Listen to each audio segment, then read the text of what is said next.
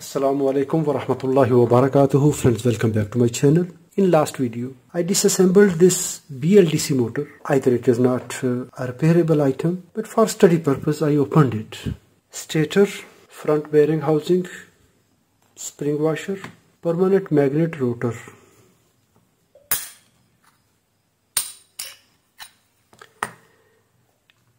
And bell assembly. It is support for the rear bearing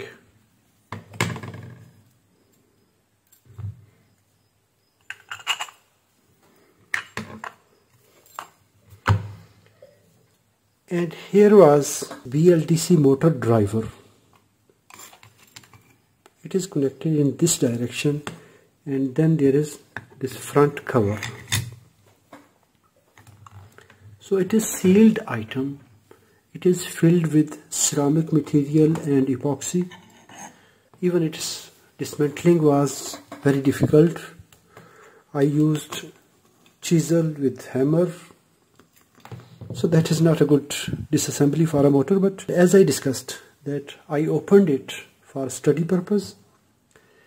In this session we will study this circuit because it receives 310 volt DC. When we say DC motor, DC motor always needs carbon brushes, slip rings to flow the DC current.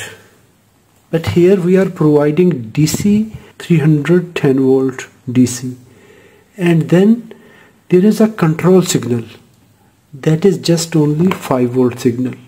Based on that signal, it will create a drive and it will adjust the speed of this motor by controlling the duty of this three-phase signal. Here are just only 5 wires. VM pin, it is positive 310 volt. Then this FB2, it is ground. This pin VCC VSP. It is speed control signal. And this signal is FD signal, feedback signal. This signal is provided to any microcontroller as a feedback, as a echo signal.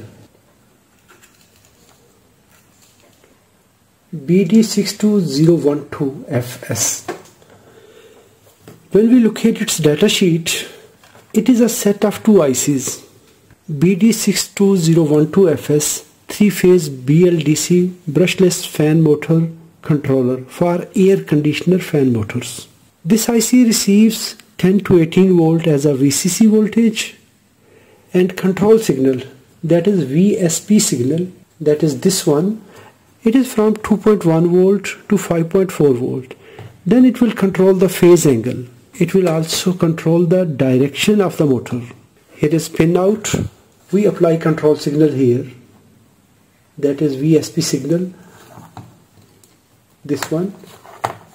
It will reach to this resistor and this signal will reach to this IC it will provide drive signal to this IPM NTP3001 when we search datasheet for NTP3001 we cannot find any supporting document for this IC but as mentioned in this datasheet for these two ICs 6202 and 62012 IC it is almost similar. So we will consider this datasheet for this IC the function and behavior is almost same. We provide this positive voltage here at this jumper at this pin at this point. These positive voltage are reaching to this IC here.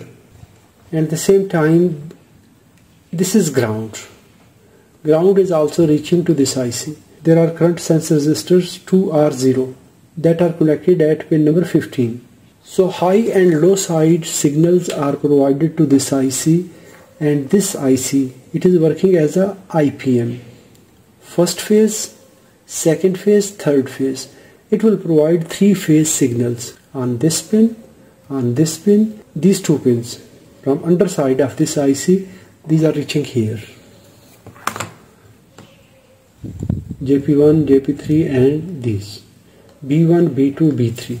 These three pins are connected at these winding ends. These Hall effect sensors SMD marking F.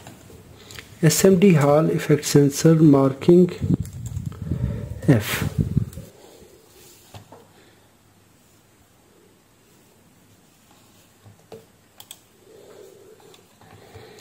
Yes, it is FHW108F.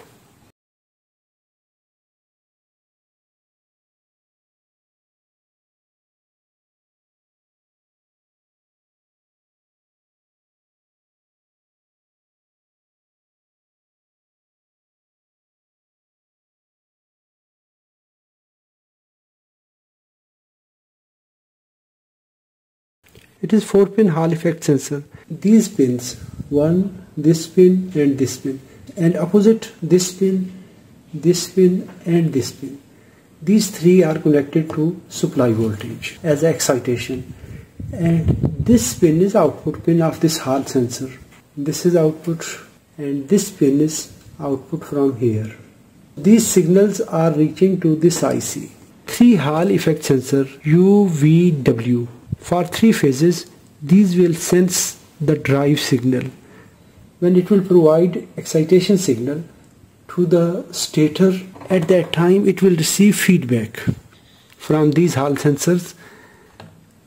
It will provide six signals 1, 2, 3, 4, 5, 6. U high, U low, V high, V low, W high, W low. Then it will provide switched voltage. This one VDC 310 volt are provided directly to high side. To the IGBTs are the power MOSFETs in the output stage here. Here are VDC positive and the bottom side MOSFET is connected to ground side using current sensor resistors. Six signals will be provided from the controller from this IC, the small one. Six signals are here and we provide supply voltage VCC voltage to power on this chip and this chip. BM6202 has two portions. One is low power section, second is high power section.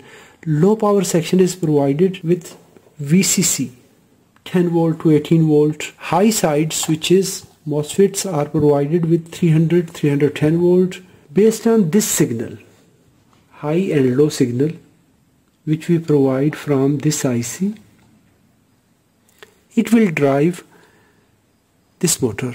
Either it will switch these positive voltage to this line maybe that time the other two pins are low or with any combination.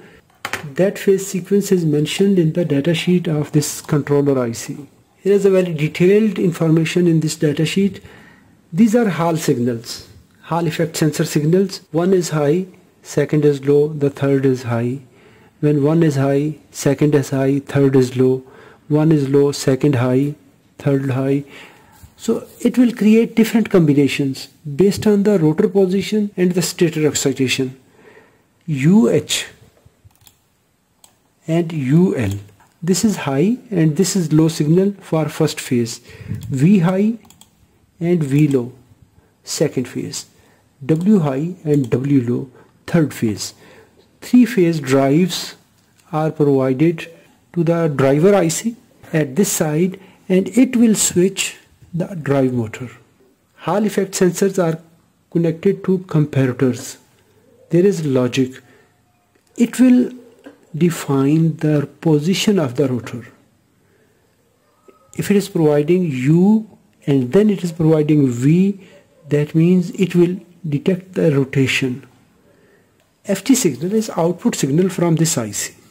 It will provide information to the indoor unit main control board that the indoor fan motor is spinning.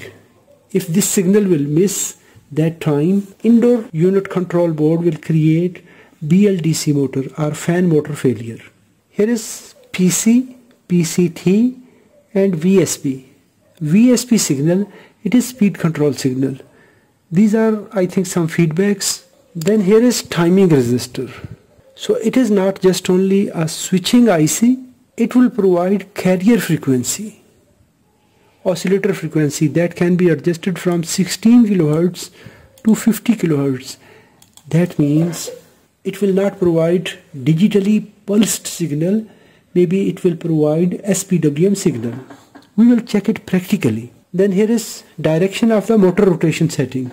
So this controller IC can be programmed to drive the BLDC motor in clockwise or counterclockwise. When it is placed here, three Hall effect sensors are here, 1, 2 and 3. These are facing exactly to these three poles, 1, 2, 3. So these will measure the polarity, the value of the magnetic flux created in this winding in the stator. In upcoming session, I will apply power. I will place these Hall effect sensors at this position and we will place board outside. We will use oscilloscope to monitor the signals. We will provide varying signal and we will check the speed. I hope this video is informative for you. If it is good, give a thumb up. If you have any question, please write in the comments. Thanks for watching. Assalamu alaikum wa rahmatullahi wa barakatuh.